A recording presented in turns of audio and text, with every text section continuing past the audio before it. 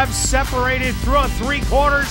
One 11 and 4. Beluga Bull is going to try and take the win string away from Magic Doro. And Beluga Bull finds another gear and pulls away by three. Beluga Bull! Magic Doro not giving up, but the Bull is gonna take it in the Wheat City. Magic Doro second, third Prince Raphael, and fourth, the best Glacier.